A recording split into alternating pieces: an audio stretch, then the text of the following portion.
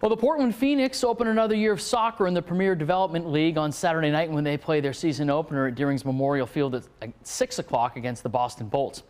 The Phoenix are the top level club of the Global Premier Soccer organization, which develops players of all ages, but it's this PDL team that houses the players closest to reaching their goal of playing pro soccer. The PDL Phoenix are comprised of some of the top college talent in the country plus some area college standouts. But what makes the league unique is that some players who have played on the club teams as youth players have the ability to play at the highest level. In its seventh season, the Phoenix have met many of their established goals.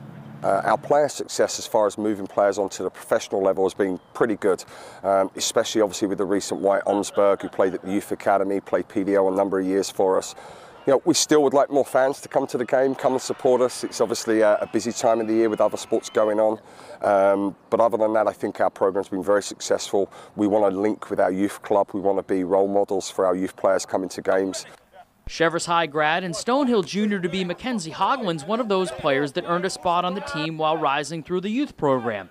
Hogland played with former Scarborough High and Phoenix defender Wyatt Omsberg, who was a first round pick by Minnesota this year in the MLS draft.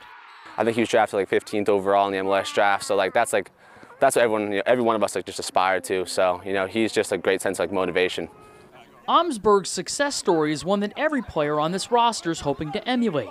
It's what's brought Dalton Knutson from the University of Central Arkansas to Portland for the summer. Uh, personally, I'd like I'd love to go to the next level, and I'm going to do everything I can to to play Eh, whether it's USL, MLS, or overseas somewhere. So I think Paul has a lot of connections I could I could really use to get to the next level.